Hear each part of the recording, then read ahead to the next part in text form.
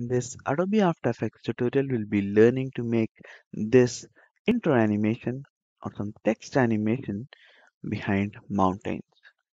Basically, you can do this behind any object, but in this case, I'm using the mountains. So let me first create a composition. I'll go to composition and click on new composition. I'll name this mountains 1920 by 1080 resolution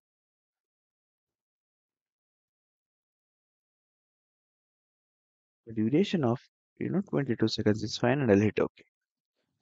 The next thing is I'll add the mountains image that I have. I'll simply drag this towards the right, something like this. Let me bring this down a bit. Alright. And the next thing is to add an animation here. You can use a text animation or some logo animation as well. In this case, I'll just click on this type tool and type in some random text. I'll say mountains are calling and I'll change the color to black.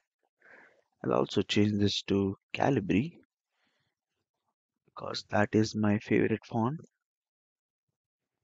Alright, I'll make it a single line.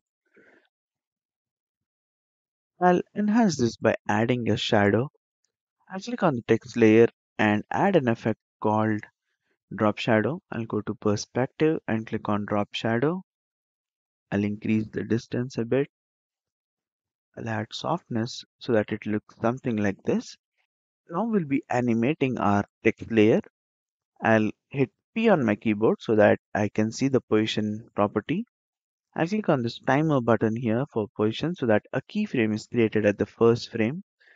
I'll bring this down something like this behind the mountains. I'll go to around, you know, one second forward or like 20 frames forward and move this to the top just like this. Let me play this to see how it looks. It is a bit slower, so I'll move this to around 15 frames.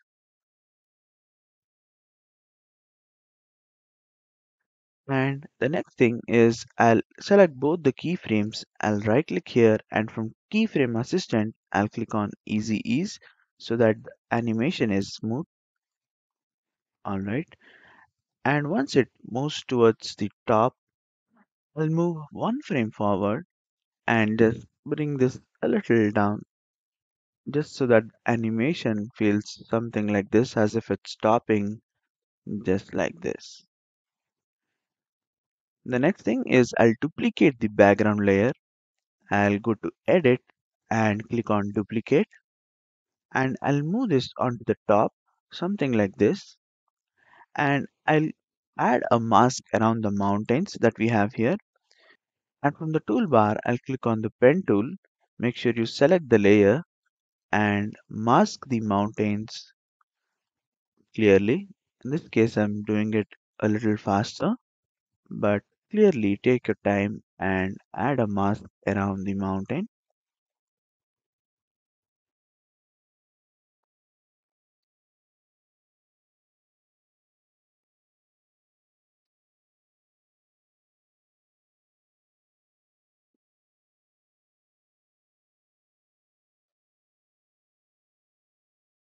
If I check this, you can see that this is how the mountains layer is looking like.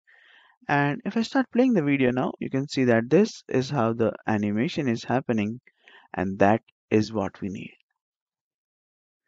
Adobe After Effects is all about creativity so you can play along with different things depending on your scene. I've noticed this in a lot of travel videos so I just thought of making a tutorial. I hope you found this video helpful and if that's the case give us a thumbs up. Consider subscribing to my channel and you can also download this project file absolutely for free.